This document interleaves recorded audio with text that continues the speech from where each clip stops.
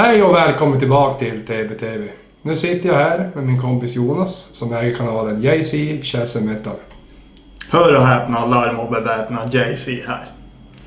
Och nu blir det Boom Boom Balloon Challenge.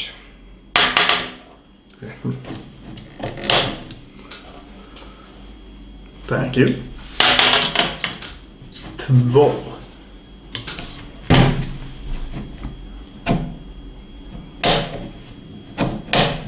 Och alltså, han är ganska fjantig, man ryggar bak för att en ballong ska sprängas. Ja. Och du får ju ta olika på olika pinnar. Mm. Du får ju ta typ två där och Jaha, ja ja. en sån. Mm, Du byter av på samma. Okej. Så man får vara lite skicklig. Ja, exakt, du får vara strategisk. Nej, vadå? Elementär idé Watson. Ett. Ett bara. Mm. Men bara. Ja, det är ju så synd om dig. Ett. Nej, det känns inte bra det där. Var här nere.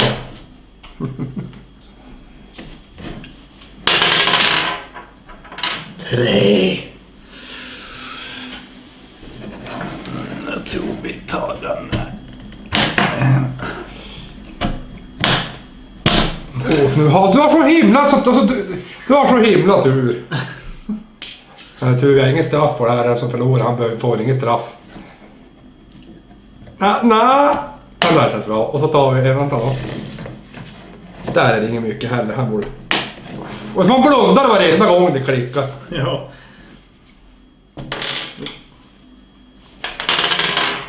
Ett. Det är, Han- han- varför, varför säger jag ett? Ja, det är det bästa. Det- Du, men du har satt någon blyvikt eller någon vikter i bordet eller någonting. Någon magnet. För du får bara ett. Både här och på Pieface.